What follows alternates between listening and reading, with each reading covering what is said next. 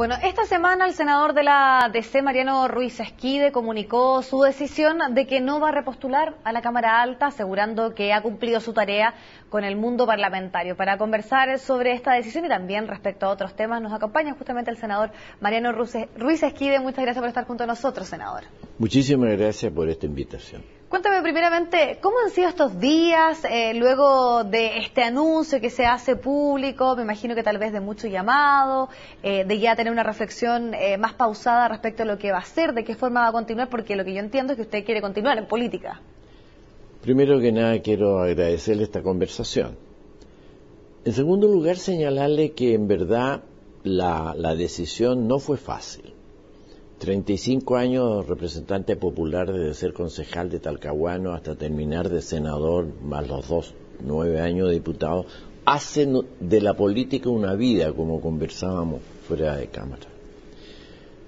Sin embargo, decidí hacerlo por distintas razones y hoy día puedo decirle que estoy agradecido de Dios, agradecido de Dios, de mi familia, de quienes me han llamado, innumerables personas que me han llamado en estos días para darme ánimo, para decirme que ojalá pueda seguir haciendo algunas cosas por la política, pero que además sienten que tenía derecho a, salirme ya este tráfico tremendo que significa ser parlamentario y por lo tanto no puedo sino estar satisfecho, contento, sin vanidad, sin soberbia, la soberbia es lo que destruye a los políticos. Senador, en esa reflexión, eh, cuando se ha hablado muchísimo en el último tiempo de la crisis de las instituciones, de la falta de recambio político y que eso también puede deberse a la baja aprobación que tienen muchísimas instituciones, como por ejemplo el propio Congreso, ¿fue parte de los temas que usted analizó al momento de decidir no repostularse, tal vez dar espacio eh, a otras personas, pensando en que es una de las exigencias que está haciendo la ciudadanía? Para serle muy franco, no. Mi decisión fue tomada en virtud de lo que me pasaba a mí ya en este momento. Y es que llega un instante en que usted tiene que salir de ciertas actividades que lo han marcado por la vida. Si no, se estanca en esas cosas. Entonces, mi análisis fue, llevo muchos años, el tiempo ha cambiado, las cosas han cambiado de cómo se hace política, y yo también creo que merezco tener un tiempo para hacer otras cosas. Por ejemplo, dedicarme a descansar. Te dirá, todos descansamos y todos aspiramos, sí. Yo soy muy trabajólico, he sido muy trabajólico y eso me significó haber podido tener buenas eh, eh, votaciones. Pero llega un instante en que uno debe también salirse de esta cosa tan dura y dedicarme un poco a dos o tres cosas. Primero, estar más con mi familia. Lo he hecho con mucha crudeza eh, ser parlamentario significa siempre quitarle un poco de tiempo y bastante tiempo a la familia. Yo siempre le digo a los jóvenes diputados que están entrando ahora, cuidado, yo no me di cuenta cuando estaba dando más tiempo del necesario y menos tiempo del adecuado a mi familia. Segundo, eh, descansar probablemente en Viña, es decir, en Viña de hecho y en un campo que tengo en la zona de Biobío, en Antuco, un valle precioso, eh, ahí tengo una casa que es herencia de más de 100 o 200 años y por lo tanto ahí me quedo. Y tercero, retomar después de un tiempo de reposo un poco la relación con los trabajadores, con los jóvenes, para seguir pensando en común. no solo hacer clases o hacer institutos, no, sino discutir, conversar. Y conversar con, con mis amigos, que hace tantos años que con ellos no hablo vis a vis, tranquilo, hablando de todo. Y tal vez aprovechando en esta semana que ha sido de muchísima reflexión, también ha podido ver, tal vez con otros ojos, lo que está sucediendo desde el punto de vista político, particularmente la oposición. En el día de ayer fue para muchos una jornada clave. Finalmente la expresidenta señala que deja su cargo en ONU Mujeres para llegar a nuestro país. Eh, ¿Cómo vio usted la reacción que se produjo en la concertación? Particularmente porque hay algunas voces que temen que existe, que pueda existir un exceso de confianza respecto a la llegada de la expresidenta. A lo último que usted me señala con toda franqueza, y se lo digo a, muchos de mis camaradas y compañeros de la concertación, las elecciones se ganan el día de la elección a las 4 de la tarde, no antes. Entonces, cuando hay demasiada confianza, cuidado. Hay que trabajar como si perdiéramos para poder ganar como queremos. Por lo tanto, esto es lo que debemos hacer. Segundo lugar, a propósito de lo que usted me plantea, yo creo que las reacciones fueron las esperadas. Era un hecho esperado, deseado, y que todos estábamos contestes que iba a cambiar el escenario político. El tercer punto que me importa mucho señalar es que la derecha ha reaccionado como corresponde. Yo, algunos amigos míos me dicen, mire lo que están diciendo los candidatos de la derecha. ¿qué quieres que diga, no? No van a estar felices con que venga. Por lo tanto, están haciendo lo que deben hacer en un pronóstico para la derecha en materia presidencial peligrosísimo, porque las encuestas que muchos de nosotros tenemos no dan hasta la fecha las cifras que son adecuadas para ganar. Y yo creo así, se lo anuncio así, es mi pronóstico, yo creo que va a haber un tapado o tapada. Y lo último es que la señora Bachelet viene dispuesta a hacer las primarias.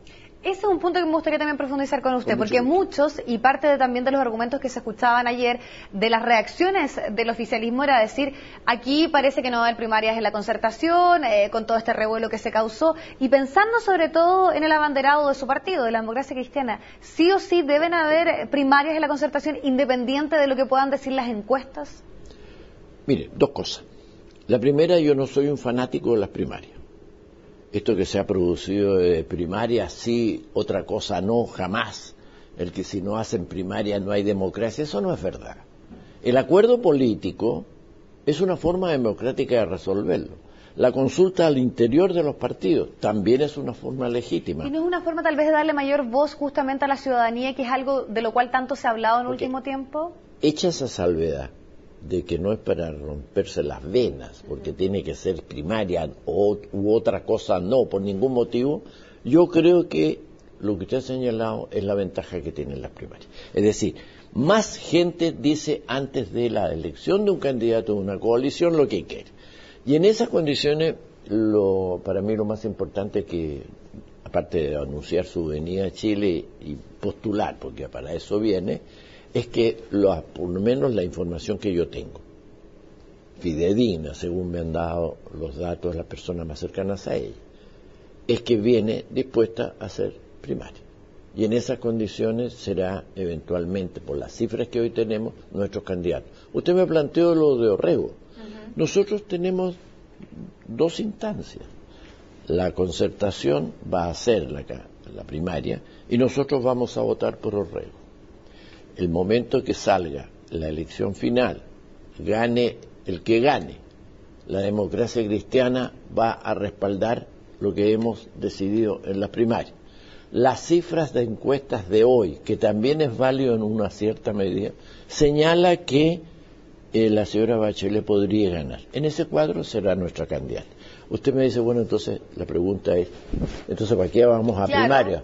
Pensando por lo que también el desgaste, lo que sucedió un poco también en la alianza. Pero una cosa, por una razón muy simple porque queremos cumplir lo que hoy entendemos como el mejor mecanismo de descifrar los hechos políticos. Y ahí como partido, sí, y ahí como partido debiese haber algún cierto piso, porque muchos también decían que esto podía ser un riesgo, que finalmente si había un triunfo eh, de muchísima diferencia por parte de, Michelle Bachelet en las primarias, podía dejar un poco desvalorizado sobre todo a la democracia cristiana, que hasta ahora dentro de los partidos de la oposición, pensando que Andrés Velasco es eh, independiente, es uno de los pocos partidos que va a competir con la figura de la expresidenta. Eso lo valoró el, el partido. Yo tenía muchas reservas a lo que hemos hecho. Públicamente lo puedo decir, lo hemos discutido con el presidente del partido, hemos tenido criterios diferentes porque esto es opinable. Se tomó la decisión de hacer primarias internas. Si ganamos con Orrego, es decir, si se ganó la democracia cristiana y nombró a Orrego, ese es el candidato. Ahora, la pregunta suya, es riesgoso, debo reconocerlo. Usted me está planteando implícitamente la pregunta, bueno, ¿y si Orrego va a seguir? esa es la pregunta, ¿o se va a retirar? lo que todos afirman de que se va a respetar, pero... no, yo creo que tal como se hizo, se debe respetar. Bueno, y si ganamos con un buen... Eh, perdemos con un buen piso, como dice usted, o perdemos con una cifra que no nos satisfaga, es el riesgo de lo que hemos hecho. Pero hemos logrado una cosa el partido se ha mantenido unido detrás de un candidato. Y segundo lugar, es un partido que va a la lucha electoral. No nos estamos retacando a decir, mire, ¿cuál es el camino más fácil? No. tenemos nuestros nuestro puntos de vista. Y tercero, lo más importante de todo, esta primaria tiene que servir para que haya debate. No nos interesa, a mí personalmente, eso es opinión personaliza, un buena, una buena o un buen candidato. Ok, pero sobre todo un gran, buen y gran programa para enfrentar no solo cuatro años, sino ocho o diez, porque el país necesita que la gente joven, sobre todo, tenga la visión no solo de una política éticamente bien llevada, sino épica. Y para eso necesitamos programas que sea aprobado por todos y asumidos por todos. Senador, mañana es una jornada clave para su partido. Usted lleva 57 años militando en la democracia cristiana y usted ya le ha entregado su apoyo públicamente a la candidatura de Aldo Cornejo.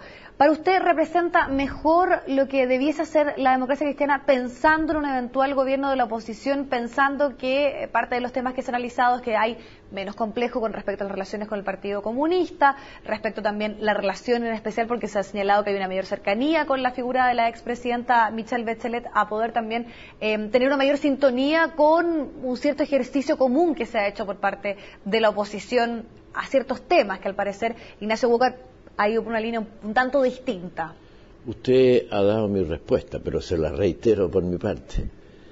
Yo tengo una manera de ver la democracia cristiana como partido popular, comprometido con las injusticias de los pobres, cambio del sistema capitalista, educación y salud pública de calidad, un compromiso latinoamericano en lo internacional, un partido que tiene ética interna, un partido que debe alejarse de ese compromiso a veces espurio que hay entre la política, el dinero y los poderes. El otro día un sacerdote dijo una frase tremenda y que yo la aplico para la política de todo y muy especialmente para mi partido. Es una frase del Salmo. Dice, si tienes poder y dinero, a lo menos no le entregues tu corazón a ellos. Cornejo representa más mi visión en esa línea que lo que representa Walker. Como voto en conciencia en el partido, voy a votar y voy a ir a votar hoy día mismo, después de esta conversación, a Curanilagüe por la lista de Aldo Cornejo. Y como usted me lo permitió antes de, llamo a mis camaradas fraternal y cariñosamente y con todo respeto por su libertad de conciencia que votemos por él. Creo que nos acercamos más con esta lista donde van dirigentes sindicales, alcaldes, etcétera, a lo que yo creo debe ser la posición de la democracia cristiana. Siempre, siempre en la línea de cambio, de ética política, de visión con ganas de hacer la política, no solo manipuleo, para ganar y cambiar, si es posible, a partir del próximo año, con un gobierno nuestro, con un parlamento con mayoría para poder sacar las leyes, donde ya no voy a estar y que podemos lograr el cambio de Chile. Chile se merece un cambio, Chile merece otra sociedad. La desigualdad, señora Viviana, las cifras que se han dado, la concentración es inhumana, es una bofetada a Cristo. Y es por eso que creo que, no yéndome a volar por las nubes, pero sí lo que me preguntó, creo que en esta elección también es histórica como han sido otras, y pienso y creo que debía ser Cornejo, estaríamos más tranquilos. Senador eh, Mariano Ruiz Esquí, le queremos agradecer muchísimo su tiempo a esta conversación y sin duda que vamos a estar muy atentos a lo que suceda mañana en la democracia cristiana. Muchísimas gracias. Muchas gracias a usted. A ustedes los invitamos a que continúen junto a nosotros. Viene más noticias acá en Cernet Chile.